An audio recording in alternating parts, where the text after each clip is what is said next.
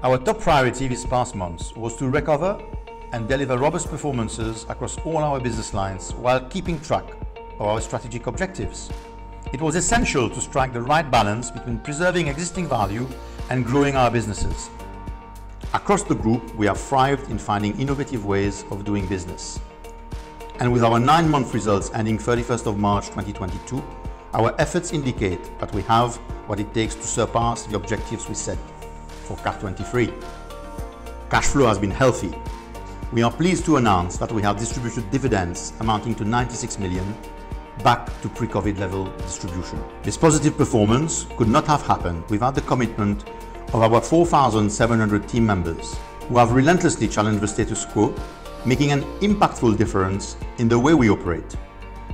As our businesses are now on the recovery path and have a robust performance, we have a few opportunities in the making.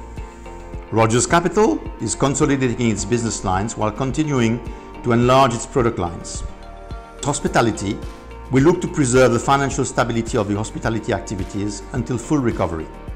Its five-star heritage hotels have considerably gained traction, with performances nearing pre-COVID levels.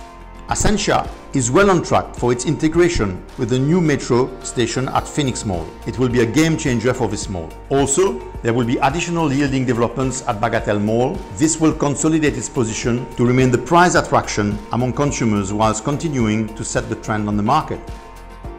Agria is working on new business and sustainable models for our land in Bel Ombre.